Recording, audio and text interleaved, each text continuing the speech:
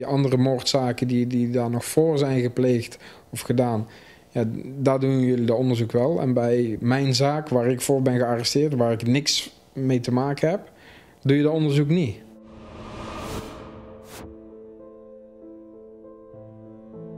Danny van den Hoge krijgt op 8 mei 2000 als 16-jarige jongen de schrik van zijn leven als hij wordt opgepakt voor de koelbloedige moord op drugscrimineel Reggie Koenders. Ik was 16, dus in principe nog minderjarig. En ik werd gewoon als volwassene behandeld. Dus uh, verhoren van s ochtends 8 tot s avonds 8, uh, ja, dat was dan maar gewoon normaal. Hè? In de nu 10 jaar oude moordzaak zijn aanwijzingen aan het licht gekomen waaruit blijkt dat Van der Hoge hoogstwaarschijnlijk onschuldig is. Ik ken die man niet en ik heb er niks mee te maken gehad. Er wordt DNA gevonden op de hulzen van de drie kogels waarmee drugscrimineel Reggie Koenders in 2000 in Eindhoven op klaarlichte dag in zijn auto wordt geliquideerd.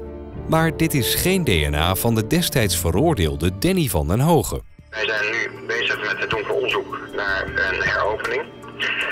En we hebben na heel veel moeite uiteindelijk van het Openbaar Ministerie kogelhulzen gekregen om daar DNA-onderzoek op te kunnen laten verrichten.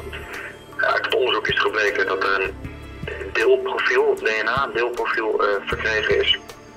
Dat profiel is niet afkomstig van Danny. En nu hebben wij gevraagd aan het Openbaar Ministerie om te onderzoeken of dat wat men heeft gevonden afkomstig is van medewerkers van het NFI.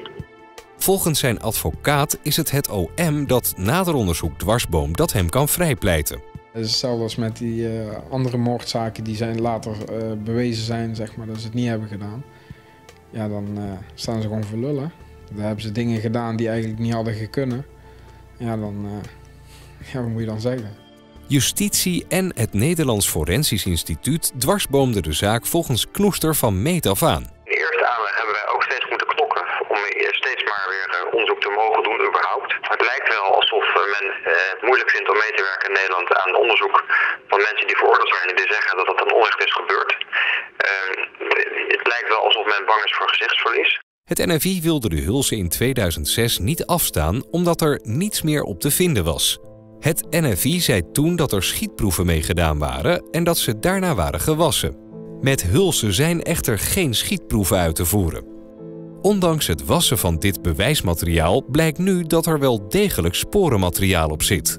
In het begin toen wij hebben gevraagd of het DNA-onderzoek op de hulzen kon worden verricht, hebben wij eigenlijk een scala van argumenten gehoord waarom het allemaal niet mogelijk zou zijn. En een van de argumenten was dat men zei, ja, die hulzen die hebben geen DNA meer, want die zijn gewassen bij, nadat er schietproeven zouden zijn gedaan.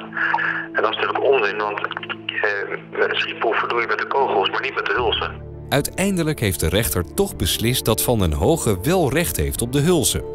IFS wil de hulzen kosteloos en met de nieuwste technieken op vingerafdrukken laten testen. Maar ook op dat aanbod laat het OM volgens Knoester niets horen. En wij hebben daar al maanden het Openbaar Ministerie om gevraagd. En die weigeren dat te doen. En daarnaast is het zo dat er een nieuwe techniek uh, ontdekt is in Engeland. En daarmee kunnen ze na jaren nog vingerafdrukken heel goed nemen van kogelhulzen. Voor Danny is maar één ding belangrijk. Hij wil dat zijn naam gezuiverd wordt. Zelf, zelf weet ik het wel waar ik erdoor uh, heb gemist, zeg maar. Dus uh, waar je normaal als je 16 bent uh, tot je 26e geloof ik dat ik was. Van mijn 16 tot mijn 26e of 25e heb ik vastgezeten. En in die tussentijd waar je normaal buiten bent, zeg maar, dan maak je dingen mee. Dan heb je relaties, je gaat met vrienden om, je leert allerlei dingen. Ik heb gewoon een bepaald gebrek in bepaalde sociale opzichten, zeg maar. En ja, dat merk je gewoon in het dagelijks leven.